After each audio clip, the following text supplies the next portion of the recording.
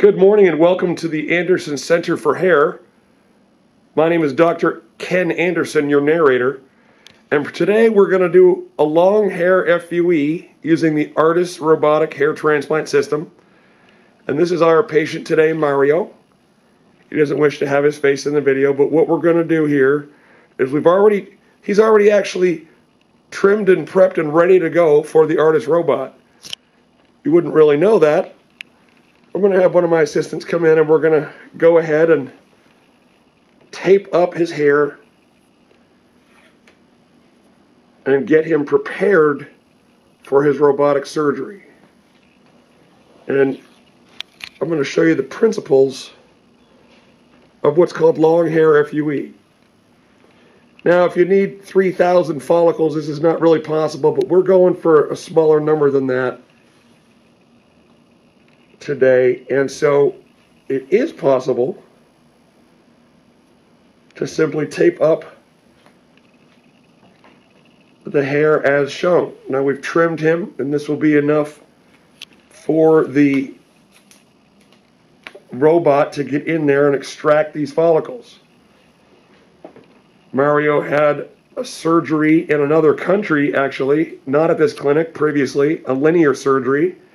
And unfortunately, he's got a little bit of a larger scar. So today what we're going to be doing is taking out some follicles and not only addressing the frontal hairline, we're also going to be placing some follicles into this linear scar from his previous procedure, which I believe was seven or eight years ago.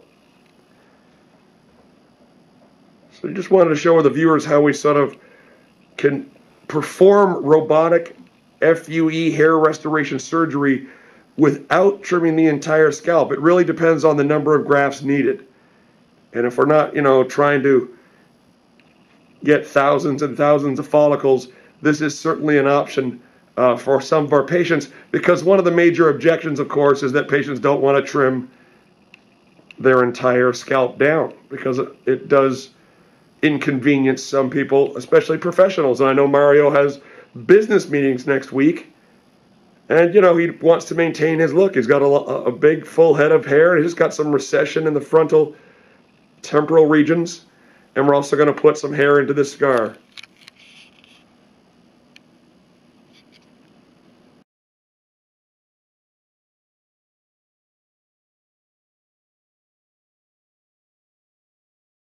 My name is Dr. Ken Anderson. We're here at the Anderson Center for Hair with our today's patient, Mario. I've gotten something special for you today. It's called Long Hair FUE. When having an ARTAS robotic hair transplant procedure, a lot of patients are less than thrilled to have to trim down their entire scalp. Of course, it takes a few months to grow back, and you know, that's not really a whole lot for a lifetime of new permanent hair, but some patients really don't like that.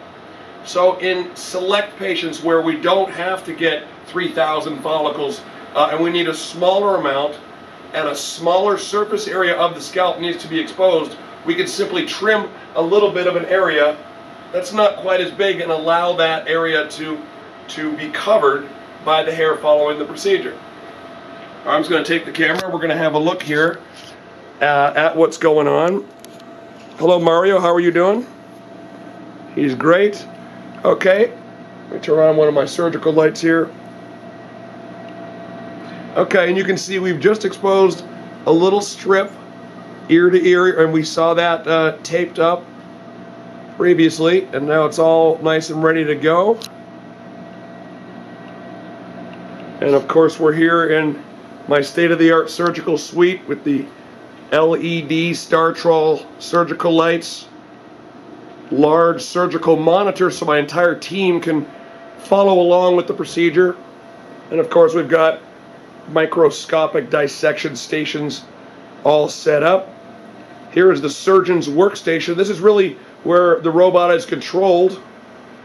And this is where I sit. I, I strongly feel that surgeons should be doing their own surgery.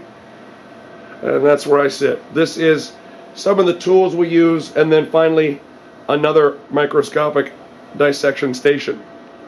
Okay, I'm going to hand the camera back to my assistant.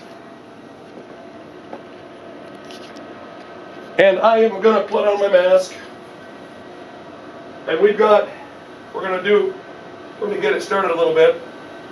We do have, of course, uh, my monogrammed latex gloves. I think, uh, you know, makes me feel special. These are, of course, it's a very tiny monogram, but they're in there. Trust me on that one. So what I'm going to do, my friends, we're going to put the, the tensioner on. This will not hurt.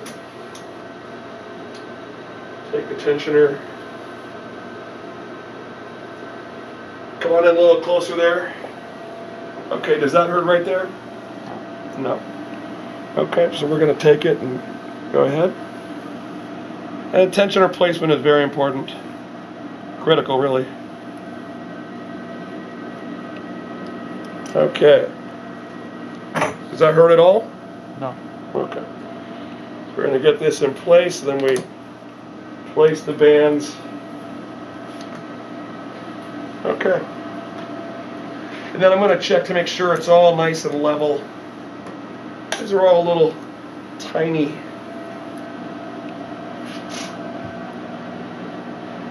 Okay, so that's nice. That feels nice and tense in there. And uh, perhaps the viewers can see the skin over here is a little more pink and soft and can be blanched. The skin here is, is, is whiter and lighter in color. Okay. What we're going to do now is have a look at the robot arm. It's going to move and come into what we call center position. Then what I'm going to do is just simply press a button and, and bring the robot into place. Press another button, and now it's going to orient itself to the tensioner. I'm going to sit down at my robot station. And so you can hear me more clearly, I'm going to take off my mask. This is the most fun part right here. So, Mario, I'm just going to do one or two to make sure that you're not feeling it and you feel good about what's going on. That's a very, we're going to just set that a little lower. Okay. Now you're gonna you're gonna hear it and you're gonna, but you won't feel it. We're gonna just do one hair to start out with. Okay. Here we go.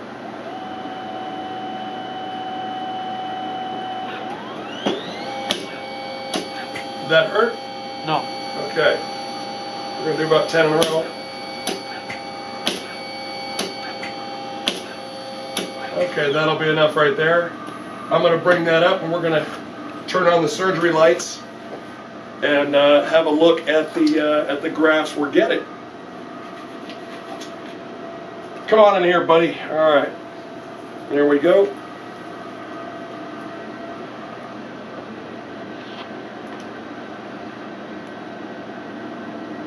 Beautiful. Now, let's have a look at this graft. We'll put it right there and get it moist. That there is a gorgeous three-haired graft. I'm not sure if you can appreciate all three hairs in there. But this is the kind of, you getting that nice? Oops, sorry. So yeah, this that that's uh, that's what you get. There will be no linear scar created. I know we saw one earlier from a previous procedure, but we're going to get all the hairs today without making any more linear scarring. He's going to be able to wear his hair down over the operated on area and, uh, and go about his business meetings uh, with very little to no evidence that a surgery has occurred today. My name is Dr. Ken Anderson, and this has been a presentation from the Anderson Center for Hair. Thank you very much for watching.